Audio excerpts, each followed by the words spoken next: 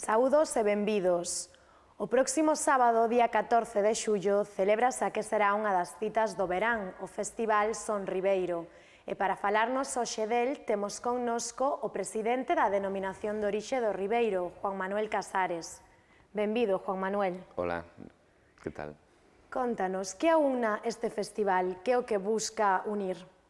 Bueno, pues, eh, Ribeiro Son de Viño, que, como diste, é unha das grandes citas eh, culturais, eu diría que culturais do, do verán, eh, busca basicamente aunar catro cousas. O primeiro pois, é a cultura galega, neste caso a cultura musical, aquilo que se está facendo nestes momentos en, na Comunidade Autónoma de Galicia, cun produto histórico, que é o viño do Ribeiro, e todo elo pois, nun escenario que é o mar galego, a praia, o tempo de lecer. E O cuarto elemento sería o, o sector de público que vai dirixido, que é estratégico para o Ribeiro e que é o sector da mm, mocidade, basicamente. Cando falamos de que o levar a un entorno de lecer, como o entorno do mar, por que escoller este, este espazo? Bueno, evidentemente estamos falando do verán, estamos falando do verán aquí, na Comunidade Autónoma de Galicia, polo tanto, un momento de máis alegría, un momento de máis esparcimento, o momento onde un ten tempo como para satisfacer as súas eh, demandas eh, culturais, eh, neste caso, e ademais, pois, bueno, evidentemente, unha época turística en un lugar eminentemente turístico. Cal vai ser este lugar escollido? Pois eh, é o lugar onde levan sendo nas catro edicións anteriores, que é o náutico de San Vicente do Mar, na Praia da Barrosa, no, no Grove. Claro, porque xa alcanzamos a quinta edición. É a quinta edición, efectivamente. Aquilo que está ben é mellor non tocalo. É mellor seguir polo mesmo mm, sitio. Sí. E con isto tamén queremos trasladar un pouquiño a mensaxe de que o Ribeiro non é só un viño de Ourense, senón que se pode disfrutar tamén en moitos outros lugares. Sí, bueno, mm, pode sonar atópico, pero mm, non é un non é unha cuestión meramente de discurso, é a realidade e aí está onte pola tarde aínda leía certos documentos, cando falamos de Ribeiro estamos falando de Galicia. O viño do Ribeiro, eh, a historia de Galicia non se entende sin o viño do Ribeiro. E evidentemente o que acabas de decir é así, mm, o Ribeiro non, é dicir, é un viño ourensán, é un viño feito na provincia de Ourense, unha das grandes xoias que temos nesta provincia, pero é un viño que trascende Ourense e, eh, e forma parte eh, como digo, da propia historia e da propia tradición desta comunidade autónoma. De aí ao noso lema, Ribeiro, esencia galega. Sempre digo, sempre eh, eh manifesto e además de, eh, convencido de que eh, falar de Ribeiro é falar de Galicia e, de feito, a denominación de orixen Ribeiro é a denominación que máis se parece á forma de ser dos, dos galegos. E cando falamos do público obxectivo ao que vai dirixido este proxecto, estamos falando da mocidade. Uh -huh. Por que da xente, desta xente xoven? Pensa que a día de hoxe non son os principais consumidores do Ribeiro? Vamos a ver, eh, non é unha cuestión particular do Ribeiro. En principio, quero dicir que isto está aberto, evidentemente, a todo abano de, de, de público, pero, eh, basicamente, eh, a combinación verán, música, eh, cun boviño pois, eh, está máis dirixida ao sector mozo. Non é unha cuestión única exclusivamente do Ribeiro, dicir, os, evidentemente todos os estudios oficiais, todos os informes das consultoras especializadas, pois eh, a nivel español, eh, pois sempre son claros ao respecto de que o sector mozo é o sector máis feble dentro do que é a cadea de, de, de, de posta en valor do mundo do viño. O Ribeiro, como te digo, leva eh, algúns anos apostando por este sector, é a quinta edición, insisto, do Ribeiro Son de Viño, e dende un ano, dende un ano pa aquí, que cando asumo a presidencia, reforzamos esta estrategia. E, de feito, bueno, participamos no Eno Festival As Burgas, e este Ribeiro, e ademais, pois tamén eh, participamos como patrocinadores noutro festival que se celebra en Castelo de Miño no mes de agosto e que dese podemos falar noutro momento.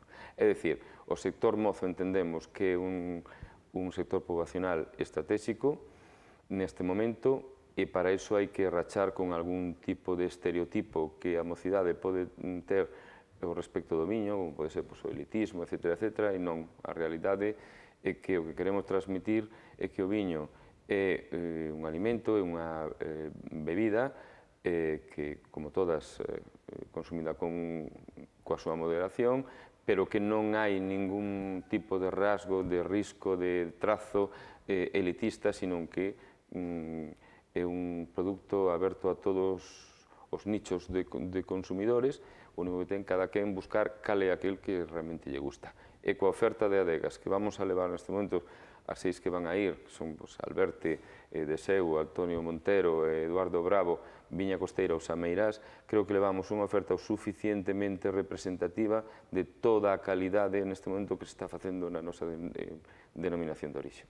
E outro dos xeitos de chamar un pouco a súa atención como reclamo para esta xente moza e, como xa dixemos, os músicos galegos, esta música galega. Uh -huh Quenes conforman o cartel? Sí, temos eh, eh, grupos que tamén penso que son representativos do que hoxe se está facendo no que é o panorama musical galego. No? Temos a Sonoro Masín, a Esteban Emanuel, a Maren Larsen, a eh, Pardo, Bayuca, Binafa. Decir, estamos falando de merengue, de cumbia, estamos falando de, rock, de ritmo de garaxe, é dicir, un abano de grupos que, como digo, representan un pouco todo o movimento musical que se está, que se está eh, movendo hoxe en Galicia. Solamente hai unha cousa na que estou, non estou de acordo contigo. Non é un reclamo, é simplemente unha ambientación, é unha forma de mm, ligar dúas, form, dúas eh, manifestacións dunha cultura, a cultura galega, música e viño, e de alguma maneira demostrar que se pode tomar eh, un viño en calquer ambiente e un deles, pois, escutando música. Darnos conta, o que me ves a dicir, é que sería como unha maridaxe perfecta entre o viño e entre a música galega. E a mar galega e a mocidade. Exacto, os catro puntos, son os catro puntos esenciais deste festival. Efectivamente. Xa chegamos á quinta edición. Que acollidas tivo en edicións anteriores e que acollida esperades que teña este ano? Pois eh, falamos de quinta edición. Polo tanto, isto indica que xa de entrada de que é un dos eh, eventos dentro da estrategia de promoción do Consello que desenvolve o Consello Regulador do Ribeiro máis exitosos. E, polo tanto, pois, bueno, en principio as perspectivas que temos para este ano siguen na liña dos, an dos anos anteriores, a venta de entradas eh, pois, está sendo a un ritmo importante e nos eh, pensamos que, pois, como todos os anos, vamos a encher.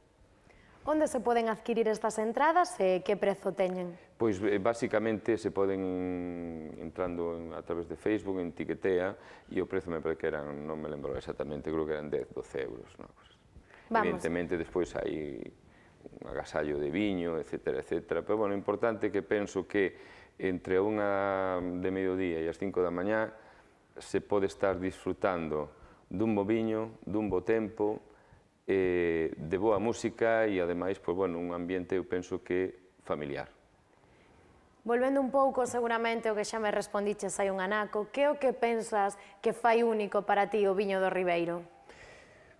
Pois mira, en principio, evidentemente, estamos falando dun viño con historia, eh, un viño con, tra con tradición. Estamos falando do viño galego por excelencia, insisto. Isto pode ser discutible por parte das outras deos, pero para min non, é contundente. Pero además estamos falando de un viño cunhas características diferenciais eh, de, do resto de viños que se fan, tanto en Galicia como en España e incluso no resto do mundo.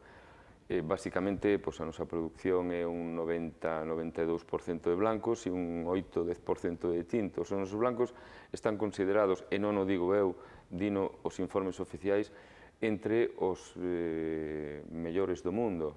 Un informe que acaba de sacar a consultora Nielsen, eh, unha consultora especializada, di que por segundo ano consecutivo somos o segundo viño blanco con maior aceptación no que é o panorama de, cons de consumo de, de toda España.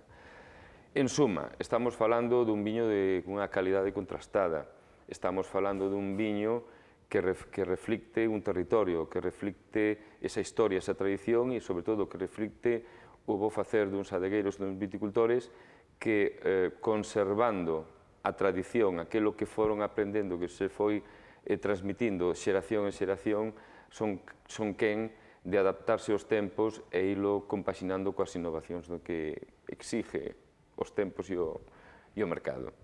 Pois moitísimas gracias por estar hoxe aquí, por darnos todos os detalles deste evento, que a una, pois eso que xa dixemos ato momento, un viño tradicional, uh -huh. unha tradición milenaria como é o viño do Ribeiro, uh -huh. co que serían as novas xeracións. Efectivamente, moitas gracias a vos por convidarme. E a vostedes tamén, moitísimas gracias por estar aí un día máis. E non se olviden que o día 14 de xullo teñen unha cita co Festival Ribeiro Son de Viño.